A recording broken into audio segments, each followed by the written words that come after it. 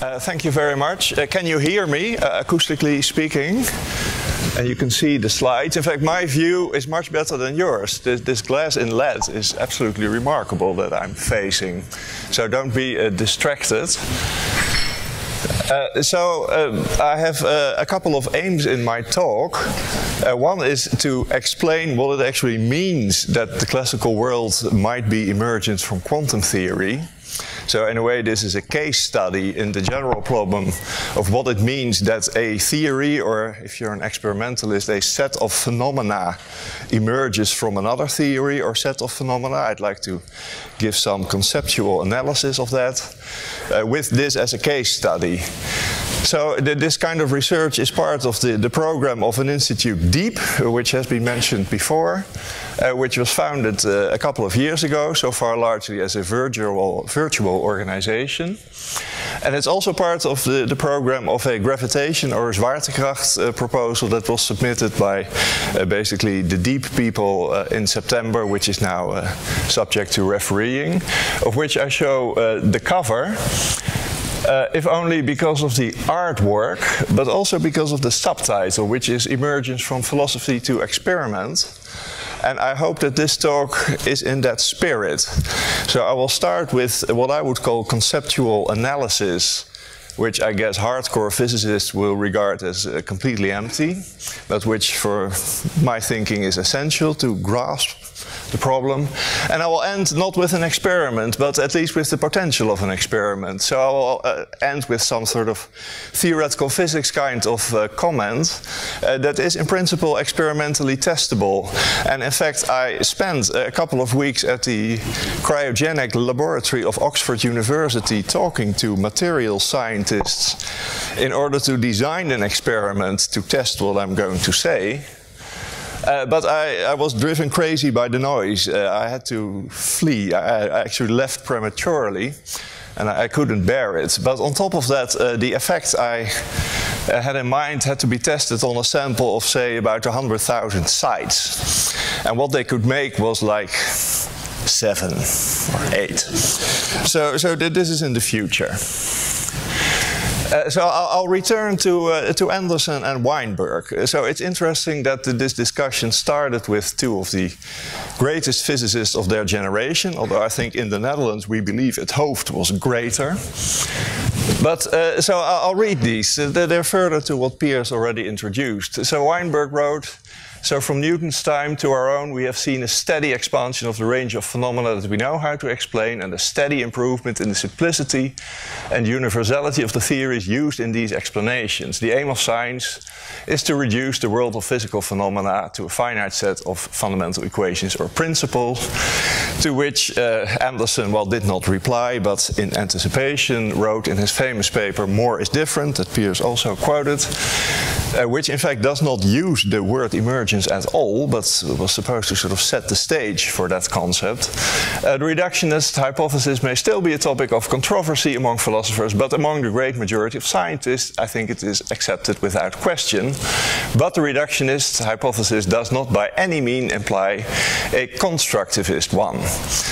And so on and so forth. And what I would like to stress what I would like to stress is that emergence and reduction are not opposites. So if you compare what these quotes say and what they mean, uh, I would even go beyond saying that emergence and reduction are complementary.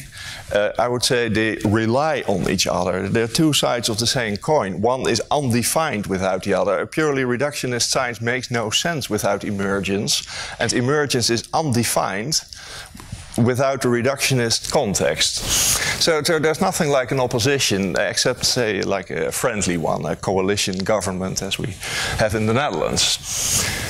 Uh, so uh, th th this does not finish the story since we actually have to define emergence. And uh, I've not given too many talks about emergence, but uh, in the few talks I gave and the, the, many policy documents I wrote, I continue to grasp for the definition of, of, of emergence. And even this one, uh, it's part of our research program to actually figure out what emergence means, and any attempts to write it down uh, means suffering. So this I spent the whole night, uh, although it was the tenth time I tried to give a concept. So one, uh, forgive me the comparison, but one sympathizes with Niels Bohr about who is it, it has been said that he struggled with every sentence he wrote. And so his writing is, is difficult to read, it's impenetrable, unless in the cases where people like Pauli or Pais just grabbed the paper out of his hand and finished it. But uh, writing these sentences, so as you will see, this is deeply flawed, but it's the best I could come up with. And it sets the stage for what I'm going to say at a more technical level. So I would say a set of phenomena, so uh, an experimentalist would again talk of a set of phenomena, I would say a theory, uh, which is usually macroscopic and complex in some sense, has novel or surprising features, including possible new laws these phenomena uh, satisfy, and which, and here Weinberg is right, are ontologically, as philosophers would say, or in principles, as in principle, as physicists would say, reducible to underlying constituents and their interactions, which typically are microscopic and simple in some sense. Whereas in practice, the reconstruction of these features, and here Anderson was right, is so difficult that it has so far eluded us, or even seems to be impossible in practice. And hence, Anderson would say that these phenomena would better be studied and, in particular, funded from scratch. Now, there is a sort of difference with philosophical literature that I have to warn against. Uh, especially the philosopher David Chalmers, who is one of the most famous philosophers in the world, partly because of this view, uh, claim that consciousness is not reducible to brain behavior and that there should be a sort of a new sphere or a new law of nature that explains consciousness. Uh, this, I think, any physicist would reject, and also what Anderson wrote emphatically rejects that point of view. So I think it, this stance is even wrong in the study of consciousness, but even if it's right there, it's sort of irrelevant for uh, the theory of emergence in physics. Right, uh, so now to, to, get a bit beyond, uh, this is just uh, an intermezzo. This is, you will recognize Robert Dijkgraaf. Uh, he, he, gave a talk about emergence in Paradiso in Amsterdam in September. This was one of the, it was the first uh, lecture in a series called Science and Cocktails, which we organize as DIEP. And so his example of emergence was H2O molecules becoming, emerging into hydrodynamics. And that's a, that's a good example uh, to keep in mind. Um, in general, emergence uh, is predicated. I'm now continue as a I'll continue as a theorist. So on two well-defined uh, and different theories. Uh, so this will be the main theme throughout the talk from now on. So there is a phenomenological theory, uh, let's call it P for phenomenological, which in Dijkgraaf's example was hydrodynamics. And there is a fundamental theory, abbreviated F, which in this case would be Newtonian mechanics, or some would say molecular dynamics. And there's an aside I would like to make that, that you may or may not agree with. But if you are a true emergentist, I would say you don't believe in fundamental theories. And this is certainly the case in this example. So we all believe that, that Newtonian mechanics is not a fundamental theory. I mean, it's emergent, as I will try to make clearer, from quantum theory. But even quantum theory should be an emergent theory.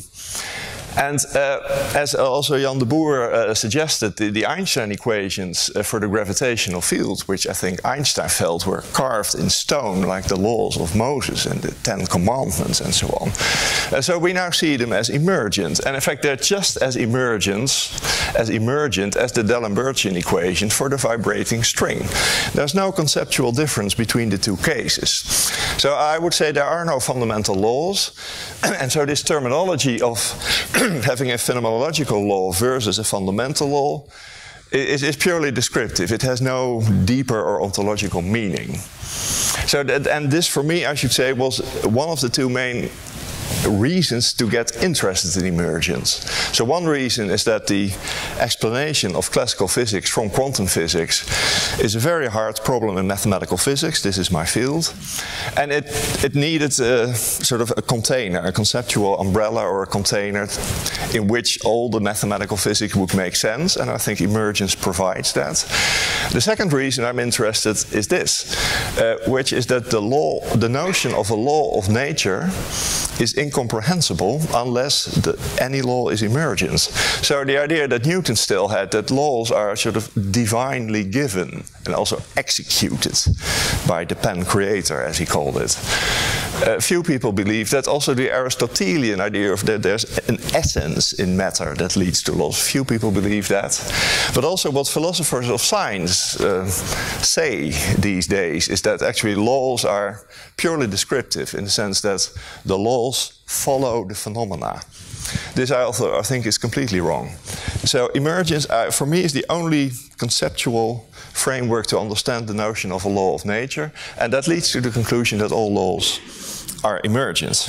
But this is an aside, and I'll move on. So the problem of explaining the classical world from quantum theory is an example of a more specific kind of emergence called asymptotic emergence, which in the language I previously introduced means that the phenomenological theory P is a limiting case of a fundamental theory F. And there are many examples of this. For example, geometric optics is a limiting case of wave optics, which I wouldn't call emergence in the sense of my definition because this is, I would say, completely understood. Uh, hydrodynamics uh, emerges from molecular dynamics even by a double limit. You have to take a limit in time and a limit in space. I would say that this is not completely understood or not even understood at all in many ways.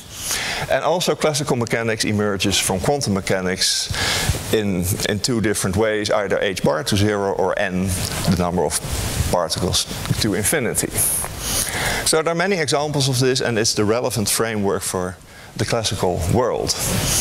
Uh, having a limit is much more difficult than in calculus. One, uh, it means in principle that in the enormous amount of observables and states that systems of those kinds have, you also need to very carefully find the right observables and states that have a limit. And this, this is the most difficult part, in fact. So once you have those, you can just take the limits and compute. But it's actually finding out what the observables are, that, that is the main problem, and the, the states that have a limit. And that also leads to interesting philosophical questions, because it's only with respect to a limited sense of observables and states that the higher theory emerges. And so you can ask, does that mean it really exists? And this, uh, this idea of asymptotic emergence is also what distinguishes emergence theory from complexity theory. So the example of emergence I will give, which is just the emergence of classical mechanics of a single particle, uh, has nothing to do with complexity. It has everything to do with limits. All right. Now, the most interesting aspect of emergence, uh, at least that I'm aware of, is what I would call the paradox of emergence. I hope the, the type font can be read in the back, but I'll, I'll read it. So uh, the, the, theory said, the, the, definition said the phenomenological theory P typically has emergent, uh, i.e. novel or surprising and so on, features uh, that even seem impossible if it is ultimately reducible to the fundamental theory F. So that is the most interesting and extreme case of emergence, but also it is the typical case. Uh, for example, as you all know, irreversibility of hydrodynamics uh, is possible given the Navier-Stokes equations or other Euler equations or so on. But it seems incompatible with the underlying fundamental theories, as we all know molecular dynamics or Newton's laws are time reversible. This is just a famous problem of irreversibility. But it's part of the theory of emergence to, to explain it. Uh, similarly, Eh, in condensed matter and high energy physics, spontaneous symmetry breaking in thermodynamics or also in classical mechanics where you have this feature seems incompatible with the underlying fundamental theory, be it either single particle quantum mechanics or quantum statistical mechanics because for almost all Hamiltonians the ground state is unique and for all, literally all Hamiltonians equilibrium states are unique as long as the system is finite. And so this is something uh, that has to be overcome.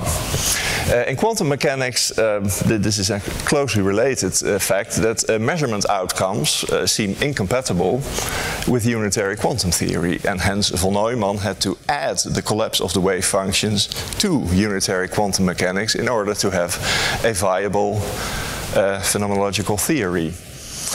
And so this is, I would say, a typical case. The phenomenological theory, eh, classical mechanics, thermodynamics, what have you, has features like irreversibility or the appearance of facts or spontaneous symmetry breaking that at least at first sight are incompatible or even forbidden by the underlying theory, despite the fact that this phenomenological theory is a limit of it and should be sort of induced or reducible to.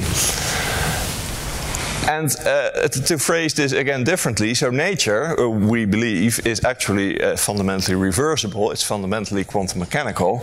And nature should therefore be described by the fundamental theory F that seems to forbid the features it actually has according to the theory P.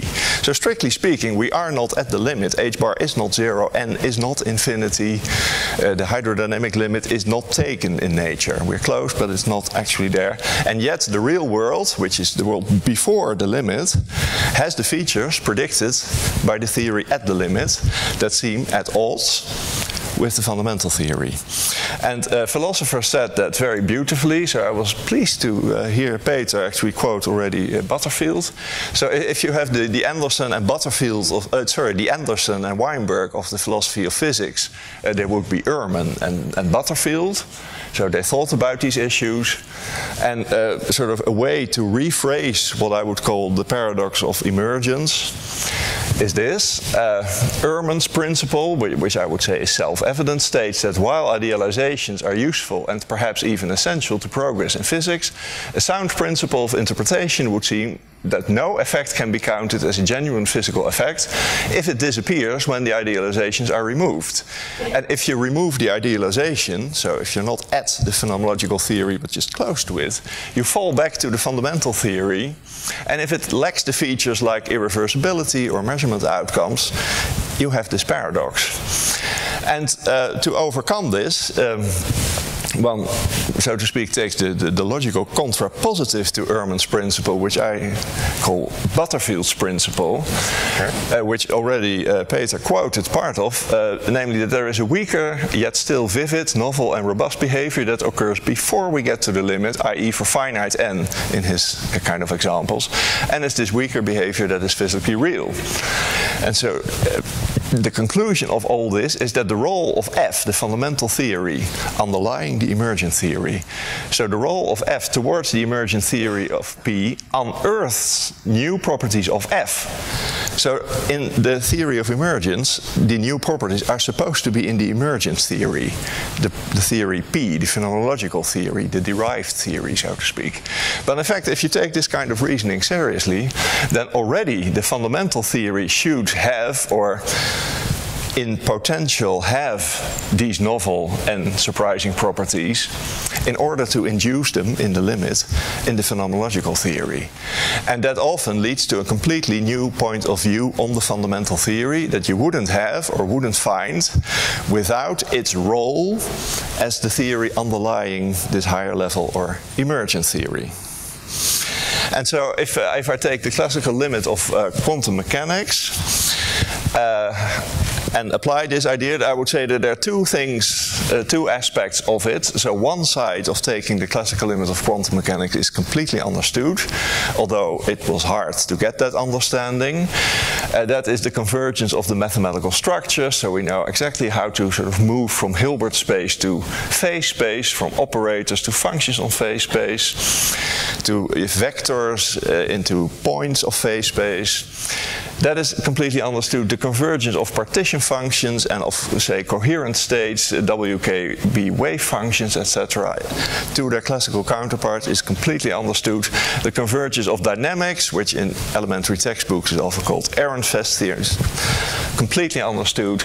And what is not understood at all and blocks our understanding of the classical world emerging from quantum theory is everything that people studied in the foundations of quantum mechanics.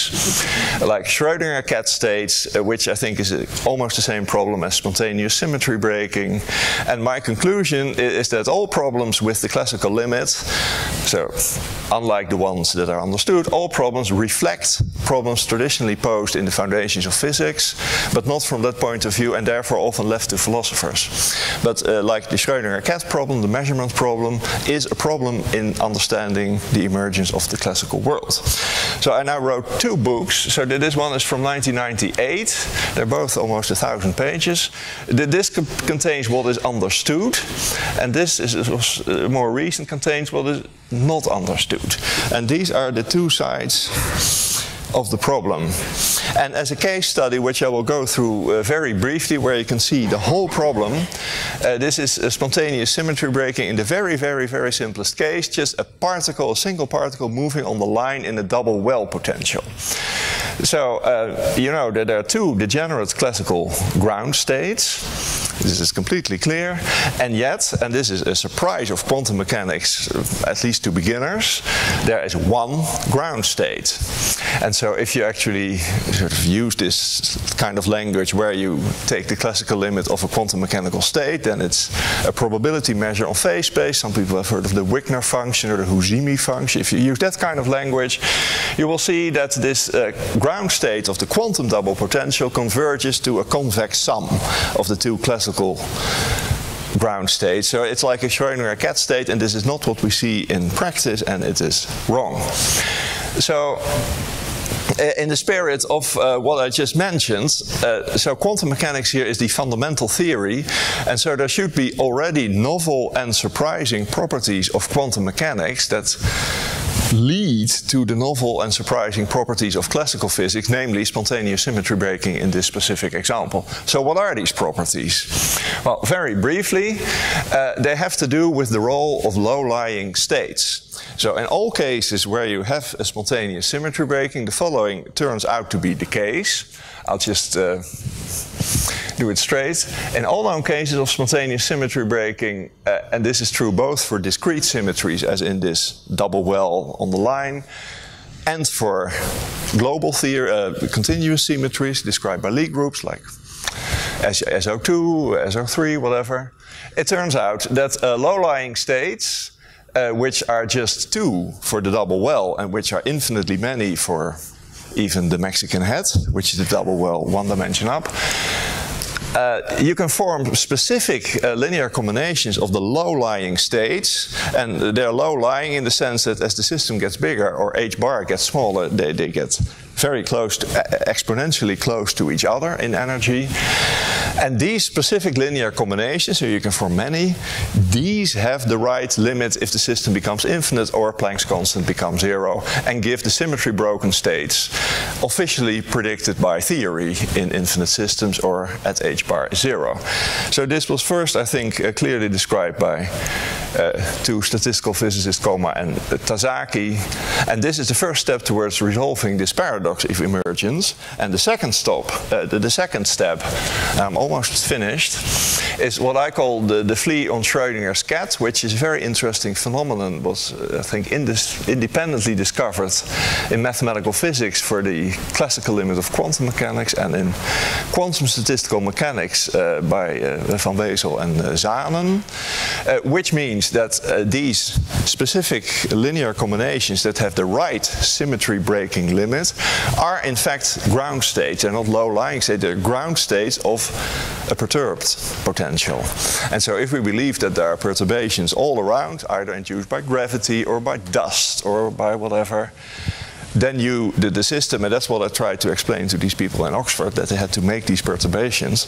Uh, you you are in fact not in the perfectly symmetric double well. You are not in a, in a Schrodinger cat state. Any of these perturbations will break the symmetry and the key point is that as you approach the limit n to infinity or h bar to zero, then you automatically get into the right ground state. And this explains symmetry breaking. So, to close, uh, this is a summary. This is really my last slide. Classical not so bad. So classical mechanics or thermodynamics, whatever you like, arises from quantum mechanics through asymptotic emergence. So as a phenomenological theory P, that is firstly a limiting case of a fundamental theory, and secondly, it has surprising and novel features, like spontaneous symmetry breaking. And the, the point is that these novel and surprising features seem forbidden by the underlying theory unless you study the underlying theory in much more detail and unearth new properties of the kind I mentioned. And in this case, the novel and surprising uh, properties of quantum mechanics itself are this extreme sensitivity to perturbations in the perturbation limit, either h bar to zero or n to infinity. And this is experimentally testable. Thank you.